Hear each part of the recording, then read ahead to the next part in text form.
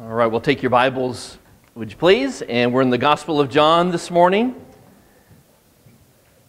John chapter 5 is where we are. If you don't again have your Bible with you, there's one next to the hymn books that you're welcome to use today. I see that our kids are making their way out to Children's Church. Thankful for the adults that are leading that, and thankful that we have the, the time right now, the opportunity to be able to look at God's Word together and to study it and again to ask those questions Who are you, Lord? And what do you want me to do? There was a woman who prayed every morning this prayer. She would pray, Lord, if you want me to witness to somebody today, please give me a sign to show me who it is. She prayed that day after day after day. One evening, she was riding the bus home after work, and the bus was empty. She'd had a long day. She was glad the bus was empty, so she sat in her seat and was just relaxing and praying. And the bus stopped, and the door opened, and the scary looking big guy got on.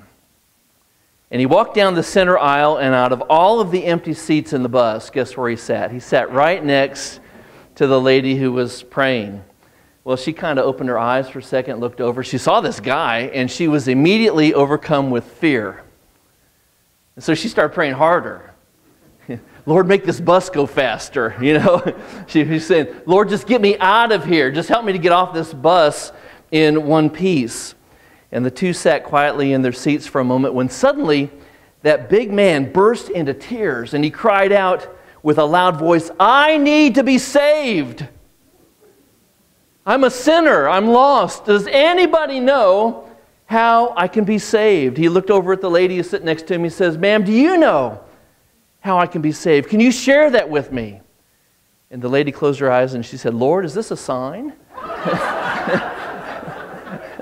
Have you ever, you ever asked for a sign? You ever asked God to give you a sign? I think that probably all of us at some point or another have asked God for a sign. We'd like that sign that's like down at Ocean City at the beach, you know, the airplane that pulls the sign across up and down the beach with words on it that say, you'd like for it to say, Here, this is Jesus talking to you, and here's what I want you to do today. And it would be spelled out one, two, three, four. I don't know if you've ever asked for a sign like that. A lot of people do, and when God doesn't give them a sign, they get mad. And, and then there's people where God gives them a sign, and they are like that lady, they, say, they don't believe it. In fact, maybe they even refuse to believe it.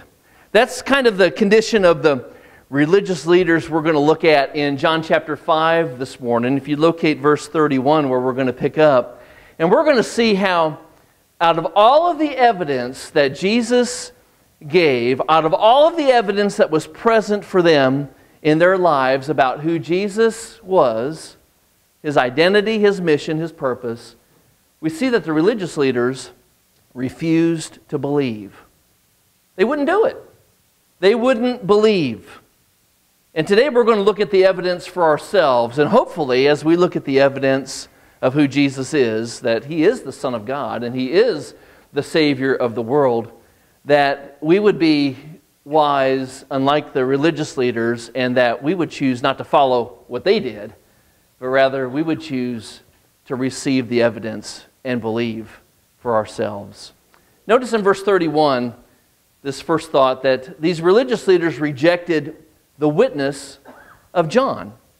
They rejected the witness of John. In verse 31, we read, This is Jesus speaking. If I bear witness of myself, my witness is not true. There is another who bears witness of me, and I know that the witness which he witnesses of me is true. You've sent to John, and he has borne witness of the truth. You know, have you ever noticed on those TV shows like Perry Mason and you know Matlock? I don't know if you watch those shows.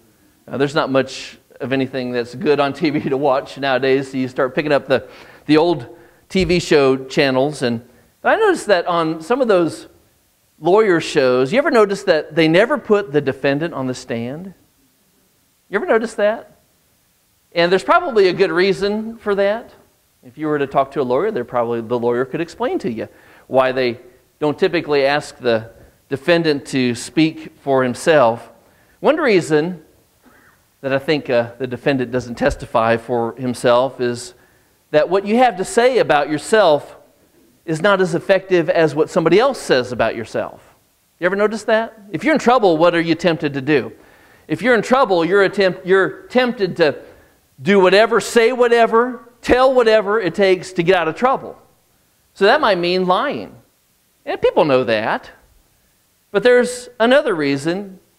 Quite often, other people see things about you that you don't see. You ever notice that? Sometimes people see things about you more clearly than, than you see about yourselves. And already in his ministry, Jesus had publicly testified about himself. And as he did, people responded in different ways to him. Do you remember back in John chapter 4 when Jesus was talking to the woman at the well?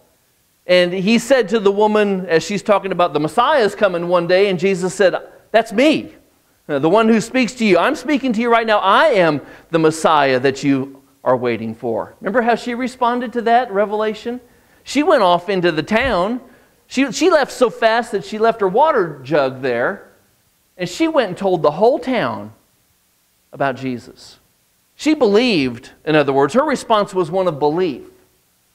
As, as we looked at John chapter 5 last week, as Jesus openly declared to the religious leaders that he is God the religious leaders got mad. Do you remember that? They, they responded not with belief, but they responded with unbelief. They refused to believe. In fact, they became so angry, the Bible says they began to look for ways to kill Jesus, to have him put to death because he claimed to be God. And he chose to heal on the Sabbath in violation, in their minds, of what the law was all about.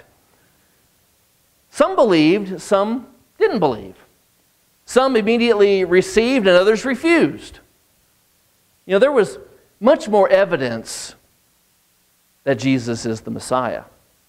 There were others that testified to that fact. There were others that affirmed that Jesus is the Messiah. One such person who did that was a guy named John, John the Baptist specifically, who we're talking about here. Jesus in these verses here reminds the religious leaders of what they had thought about John and what they had heard from John. Now, you remember who John was? John was this kind of eccentric, weird looking fella who wore weird clothes and he walked around and he ate weird food and, and he preached with power. And crowds followed him. Do you remember? There were, there were crowds that followed John the Baptist around as he was baptizing. And as he was doing this and preaching, he was saying to everybody, Repent. Repent because the kingdom of heaven is at hand. The Jews thought, perhaps, that maybe John the Baptist was the Messiah. And they wanted to know. So you remember in John chapter 1, the religious leaders sent people from the priests and from the scribes and the Levites, and, and they sent this delegation to Jesus with the question, Who are you? Kind of like what Paul asked, asked that question when Jesus showed up in his life Who are you? You remember how John responded? John said, No, I'm, I'm not the Messiah. I'm not that one that you have been waiting for. He openly confessed, I am not the Messiah. So then they said, Well, who are you then? Are, are you Elijah? Are you the prophet? Are you Jeremiah? Are you somebody else? And do you remember what John said? John said, I am the voice of one who is crying in the wilderness to make ready the way for the Lord. Now remember in John chapter 1, on the very next day, we read that John had a crowd around him and he's preaching. All of a sudden, Jesus begins to walk down the beach. And John looks over at Jesus and he said, Behold, or in other words, pay attention because here he comes. There's the Lamb of God who takes away the sin of the world. And that was the message that John the Baptist proclaimed everywhere he went. When he was around any crowd of any size, that was his message. Behold, Jesus is the Lamb of God who takes away the sin of the world. He is the Messiah. He's the one that you have been waiting for. He's the one that you need. Pay attention to him. Look at verse 33. Jesus continues here You have sent to John, he has borne witness of the truth. Yet I do not receive testimony from man, but I say these things that you may be saved. He, John the Baptist, was the burning and shining lamp, and you were willing for a time to rejoice in his light. You know, it's amazing that the religious leaders looked at John the Baptist and they got excited for a little while. Maybe, maybe this is him. Maybe this is the one. And, and they became excited about that. But then they come face to face with the one, Jesus, the Messiah, and what they do? They refused to believe. They were willing to accept John, they were unwilling to accept Jesus. They refused to listen. They refused to believe the one, John the Baptist, who spoke so loudly and clearly to them. They refused to believe what he was telling them that Jesus is the Lamb of God who takes away the sin of the world. John said, I'm not the Christ. Someone's coming after me who's much greater than me. Oh, and there he is. There he is. Pay attention to him. You know, throughout history, and even in our modern world today, people have rejected the evidence that Jesus is the Lamb of God who takes away the sin of the world. People continue to reject that, and people throughout our world willingly, they foolishly go after and they embrace these false prophets, these false antichrists, these fakes, these charlatans who supposedly they believe are the Messiah. Uh, you, you know about them. You know, people like Jim Jones and David Koresh and Marshall Applewhite, and there's other leaders of cults that are active in our world today. People run after them, and those men led thousands of people to their tragic death with their false message. How could people be so, so naive as to do that? How could people be so ignorant? How could people be so stupid as to follow after these false messiahs? Well, I don't think it's an issue of stupidity. These people that went after them were not stupid. I think the issue is one of belief. That those who followed after these false messiahs, they wanted to believe so badly that that person they were following was the Messiah, that they were willing to believe anything. They wanted to believe because they knew that they needed somebody or something to save them. And today, people are looking for somebody or something to save them. Many people in, in our culture today think that the government is the Messiah. They, they think that the government can save them from all of their woes and their foes and their troubles. But, folks, I would tell you that the government is anything but our Messiah. Because the government is made up of sinful men and women just like all of us. And we already know the Bible says that sinners can't save sinners. The government is not our Savior. But in our world today, the, the Jim Joneses and the David Koreshes and the other false messiahs, they're still out there.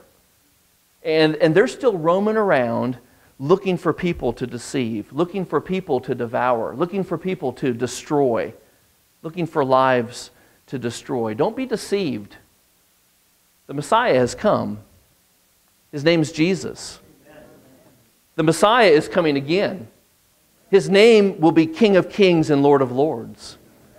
He's coming one day to take his bride away to be with him. Are you part of the bride of Christ? I hope that you are. Hope that you know Jesus as your Savior.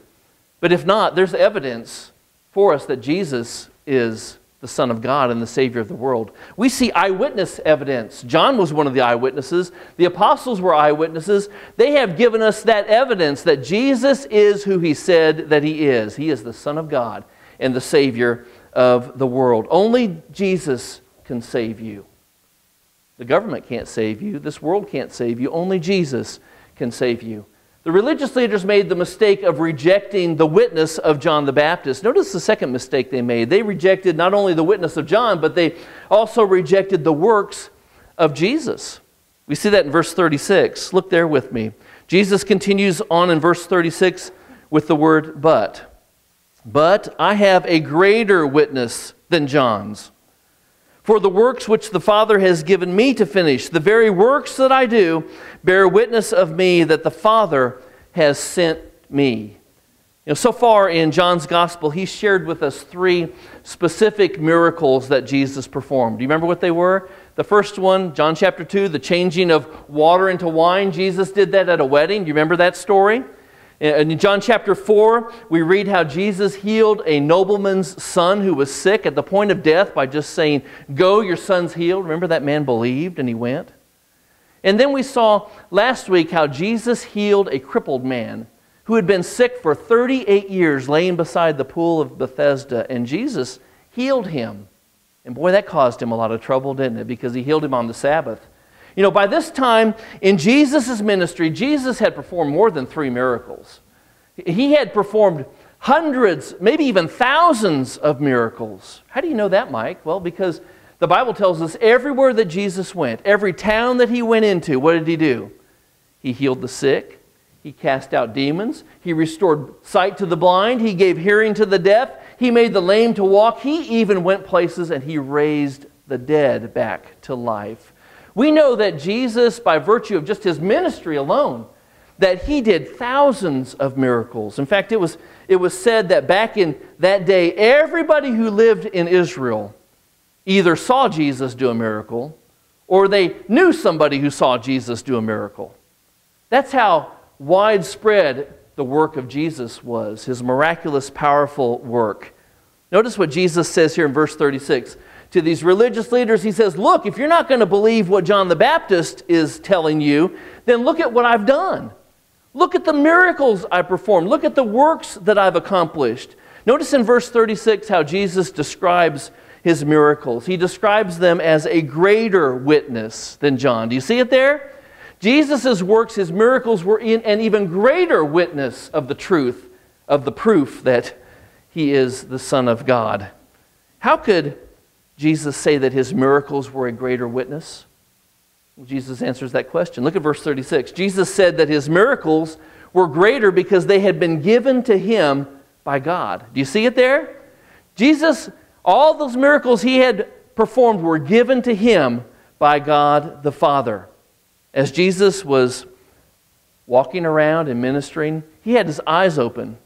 What was he looking for? He was looking for evidence that God the Father was at work in lives of people. And as Jesus saw God the Father working in the lives of individuals, what did Jesus do? He joined in. He joined in because Jesus said, I don't do what I want to do, I do what the Father is doing. And I've been working. Jesus would join in with what God the Father was doing, and Jesus would finish that work that the Father began by, in one instance, healing somebody who'd been crippled for 38 years. Jesus was doing the works that God had given him to do. And Jesus was intent on finishing those works. Those works included healing, casting out demons, restoring life, controlling the acts of nature, Jesus was intent on doing those works because God had given him those works to do. Those miracles that Jesus performed were proof, they were evidence that he was the Messiah, the one that they were looking for. But notice not only the, the supremacy of the works Jesus did, look at the source of the works there. Jesus says in verse 36 These very works come from the Father. They bear witness of me that the Father has sent me. The miracles that Jesus performed were proof that God had sent him into the world to be the Savior of the world, to be the Messiah. You know, the, the religious leaders chose to reject the validity of Jesus' miracles. In fact, in Luke chapter 11, the religious leaders even said something as crazy as, Oh, he casts out demons by the power of Satan. That's how intent they were on rejecting the witness of the works of Jesus. You know, they said that the power that Jesus had to do what he was doing didn't come from God, it came from the devil. And later, those very people would discount the greatest miracle that Jesus performed, which was his own resurrection. You remember that?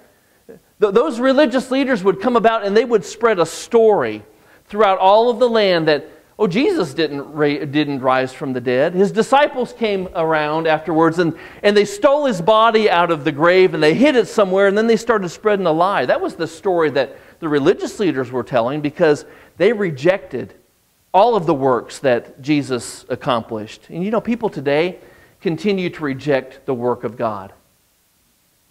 People today would rather believe in evolution than to give God credit for creating the heavens and the earth and everything in it in six days.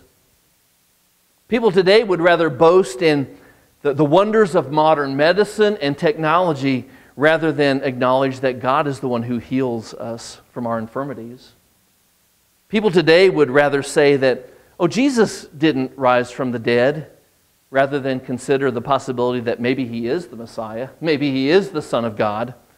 You know, Jesus, he could have stopped there. The witness of John was good, his works were far greater. Jesus could have stopped right there, but he continued to confront the religious leaders with even more evidence. We see they rejected the witness of John, the works of Jesus. Notice the third mistake that they made they rejected the words of God. They rejected God's very word. Look at verse 37. Jesus continues here, and the Father himself who sent me has testified of me. You've neither heard his voice at any time nor seen his form, but you do not have his word abiding in you, because whom he sent, him you do not believe. You know, Jesus could have stopped with the message and, and the miracles, but he offers more evidence, and he goes to God the Father as evidence of who he was as the Messiah. And Jesus tells us that even God the Father testified of who Jesus was. God the Father personally testified about Jesus. Do you remember in the Bible that at least two times God audibly spoke from heaven concerning Jesus? You know, Matthew chapter 3, at his baptism, as Jesus came up out of the water, there was a voice, God the Father speaking from heaven. Remember what he said? This is my beloved Son, in whom I am well pleased. God the Father acknowledging that Jesus is my only begotten Son. Matthew chapter 17, at his transfiguration, as Peter, James, and John are standing there looking, and a cloud comes over that mountain, that area where they were, and a voice came from the middle of that cloud. That voice was God the Father, and he said, This is my beloved Son, in whom I am well pleased. Listen to him. Listen to him. You know, God has spoken at other times about Jesus, and He's spoken about other ways, in other ways about Jesus throughout history. In Luke chapter 1, God spoke to Mary through an angel and told her, You are going to be the one who's going to give birth to the Son of God. In Hebrews chapter 1, verse 1, we read this God who at various times and in various ways spoke in time past to the fathers by the prophets, has in these last days spoken to us by his Son. God continues to speak. He continues to speak about Jesus to you and me. He continues to testify to us today about who Jesus is. Today, God speaks primarily through the Bible, through scriptures, as the Holy Spirit opens our eyes and gives illumination and, and gives us understanding about who Jesus is, what the scriptures say to us about who Jesus is. Uh, there, there's also times or there's also instances recorded in our day today, primarily in third world countries, where God is speaking to Muslims in dreams about Jesus and revealing himself through dreams to these Muslim unbelievers. And it's through those dreams, even, that people are getting saved and coming to trust Jesus and believe that he is the Son of God. The reason that these religious leaders didn't believe we see in verse 38 was because they didn't have God's word abiding in them. The reason they didn't have God's word was because they didn't believe. They didn't believe in Jesus. Their unbelief had moved them to the place where they rejected Christ as the Messiah. And every time they rejected Jesus, here's what happened in their lives. Every time they rejected Jesus, their heart got a little harder. Their ears became a little more deaf. Their eyes became a little bit more dim It was harder to hear, harder to see, harder to understand because their hearts were growing hard. And then it became to the point where they had said no so many times that eventually they couldn't hear, they couldn't see, they couldn't understand, they couldn't respond because of unbelief. Unbelief continues to be a problem in our world today. People continue in unbelief.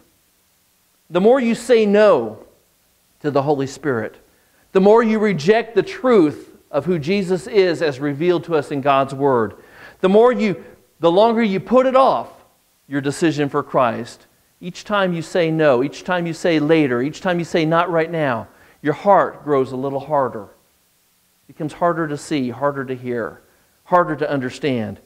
And folks, that's true not just for unbelievers, that's also true for believers too. Did you know that? Every time an unbeliever says no, their heart grows hard and it becomes harder to get saved. But every time a believer says no to what the Holy Spirit is saying in your heart, you don't lose your salvation, but you lose out on the blessing of knowing who Jesus is and the blessing of serving the Lord with gladness in your heart. Because your heart becomes hard. Whenever you say no to the Holy Spirit, you grieve the Spirit and you grieve the work that God wants to do in your life. Not only did the religious leaders ignore God's voice and the witness of God's voice, but look at verse 39 and notice that they also ignored the very scriptures that they had. In verse 39, Jesus says this You search the scriptures, for in them you think you have eternal life. And these scriptures are they which testify of me. But you're not willing to come to me that you may have life. I do not receive honor from men but I know you that you do not have the love of God in you. I've come in my Father's name, and you do not receive me. If another comes in his own name, him you will receive. You know, the religious leaders back in that day, they prided themselves on their knowledge of the scriptures. Specifically, especially the, the scribes and the Pharisees. They, they were the experts in the scriptures. You know, the scribes were like the lawyers of that day, and their responsibility was, was to write down and to record and to transcribe the Word of God, the Scriptures. And they had a process for doing that, which was very detailed. And they were responsible for, for teaching and explaining the Scriptures. The Pharisees were the ones who, who they prided themselves on, on keeping the Scriptures. They thought that they, were, that they were perfect in their obedience to the Scriptures. If anybody understood the Scriptures, who would it have been? You, you would think it would have been the religious leaders, right? The religious leaders should have understood the scriptures. And here Jesus confronts them with their ignorance. He confronts them with that very truth that, in spite of their familiarity with the scriptures, in spite of all that they read, all that they had studied, all that they had memorized, those religious leaders had completely missed the truth of what the scriptures were saying about Jesus. You know, the scriptures from the very beginning have spoken about Jesus. Did you know that? The prophets spoke about Jesus. The prophets maybe didn't name Jesus by name, but they named him by title. And they gave prophecy after prophecy, hundreds of prophecies about the Messiah, who he would be, what he would do. And Jesus fulfilled every single one of those prophecies. In his birth, in his life, in his death, in his resurrection, in his ministry, he fulfilled every prophecy that was given in the scriptures about him. The religious leaders couldn't see that, they, they couldn't hear that. Verse 44. Jesus says, How can you believe who receive honor from one another and do not seek the honor that comes from the only God? Do you not think that I shall accuse you to the Father? There, there's one who accuses you. It's Moses in whom you trust. For if you believe Moses, you would believe me, for he wrote about me. But if you do not believe his writings, how will you believe my words? You know, even Moses spoke about Jesus. He didn't call him by name, but he talked about him in, in all, each of the first five books of the Bible. You see Jesus everywhere. In Genesis, Exodus, Leviticus, Numbers, Deuteronomy. You see Jesus throughout those first five books of the Bible. Jesus is seen in Genesis chapter 1 in the creation of the heavens and the earth. Jesus is seen in Genesis chapter 7 in the deliverance of Noah from the worldwide flood. We see Jesus in the calling of Abraham, Genesis chapter 12. We see him in the destruction of Sodom and Gomorrah, Genesis chapter 19. We see Jesus in the selection of Jacob in Genesis chapter 25. We see Jesus in the rescue of Israel from Egypt all through the book of Exodus. We see Jesus in the pillar of cloud and the pillar of fire in Numbers chapter 9. We see Jesus in the manna that fell from heaven and the water that came from the rock in Exodus chapter 16 and 17 we see Jesus in the tabernacle and all of its furniture and furnishings in the book of Numbers. We see Jesus in the blood sacrifices and the offerings that are described for us in the book of Leviticus. Jesus is all through the Bible. You just got to look for him. The tragedy was that the religious leaders knew the scriptures. They'd been reading, they'd been studying, they'd been teaching it. Their noses were so buried down so deep in the scriptures that they couldn't see what they were reading. They couldn't see the truth of who Jesus was. They couldn't hear what the scriptures were telling them about who Jesus was. Notice Jesus, what he says in verse 47 if you don't believe Moses' writings, how are you going to believe anything that I'm saying to you? What an indictment against those religious leaders. Folks, there are people today who've read the Bible. There are people today who have studied the stories of the Bible. There are people today who've even memorized verses and passages of the Bible. And I would say to you today, reading the Bible is good, knowing the Bible is good, but reading and knowing the Bible will not save you. You've got to know the author of the Bible if you want to be saved. You've got to know Jesus. Jesus is the only one who can save you. So today the questions are Who are you, Lord? What do you believe about Jesus? Do you believe the evidence that's out there for who Jesus is? The evidence that was given to us, given to us by those eyewitnesses, by the miracles that Jesus did that were recorded for us? Do you believe the evidence that's given to us in the very Word of God, the Scriptures? Or are you not there yet? Maybe you've just never known. Maybe it truly is just kind of an issue of, I just didn't know. I'm, I'm ignorant. I just didn't know. But maybe the issue is that you're so buried in all of these things related to religion that you've never come face to face with the author of our faith. You've never come face to face with Jesus because you're blinded to it. You've been blinded. You've been, been made deaf to it. Who are you, Lord? Jesus would say, I'm Jesus. I'm your Savior. I'm your Messiah. I'm the one who you've been waiting for, and I'm the only one who can change your life. That's what Jesus would say to you in answer to that question today. What do you want me to do, Lord? Here's what Jesus would say I want you to trust me. I want you to believe.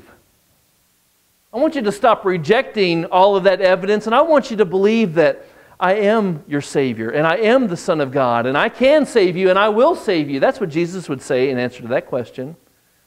And then maybe the question that you'd say would, would be, Lord, what do you want to do in my life? Jesus would say, I want to change your life.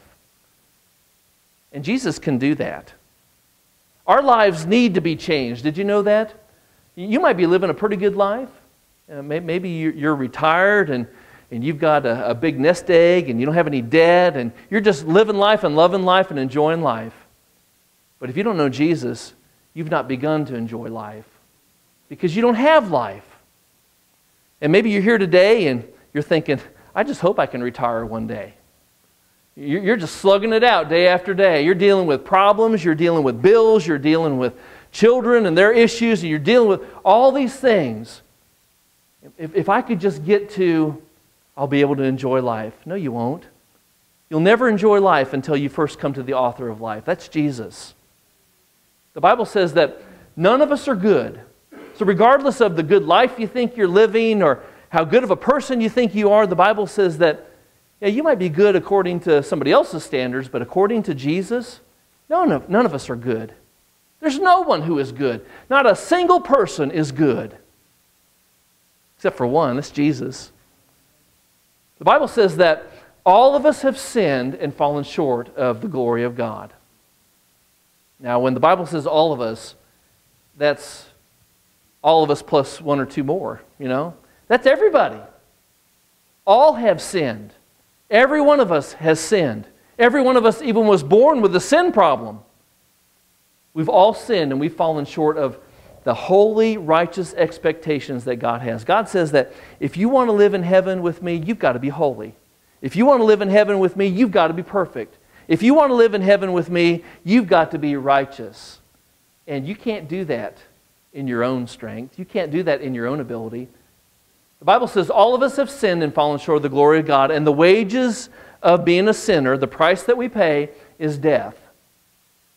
God told Adam and Eve in the garden there, that on the day that you eat from that tree that I told you not to eat from, you're going to die.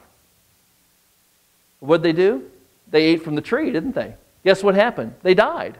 They didn't die physically right then, but spiritually, the Bible says their eyes were opened and they were dead spiritually. The relationship that they had with God, which was open and free and unhindered, became all of a sudden now there's a barrier, and that barrier was sin. They sinned and they died spiritually. They fell out of fellowship with God. And every person since then has been born into a sin problem. We've been born with a sin nature. When you're born, you've already got this desire in your heart to sin. When you're born, you're already born pretty good at sinning. And we just get better at it over the years. Sin stands in the way of you having fellowship with God. Isaiah would say in Isaiah 59 your, your iniquities have created a separation between you and your God. Your sins have caused him to hide his face so that he won't see you or hear you. That's what our sin has done. It's separated us. The wages of sin is death, but, there's a good answer here, but the gift of God to us, because God so loved the world that he gave us his only begotten Son, that whoever would believe in him would not perish but have everlasting life, the gift of God to us is eternal life through faith in Jesus Christ. You know, the Bible says that we are saved by God's grace through faith, not of ourselves. Salvation is a work of God. We're not saved by our works so that none of us can boast about anything that we've had to do with salvation. That's God's work, and God chooses to do it because He's a gracious God. He's a good God. He's a loving God. We are saved by God's grace through faith in Christ, not of ourselves. Totally a work of God. So, how does that happen? Well, what is faith? Faith is believing. What do you believe? Well, the Bible says that if you confess with your mouth that Jesus is Lord and you believe in your heart that God raised Jesus from the dead, you'll be saved. So the word faith is, is believe. But it's more than just believing, it's also belief that's put into action, and that's where the word trust comes in. Faith has to have belief and trust hooked together. Faith always has something that is produced in mind.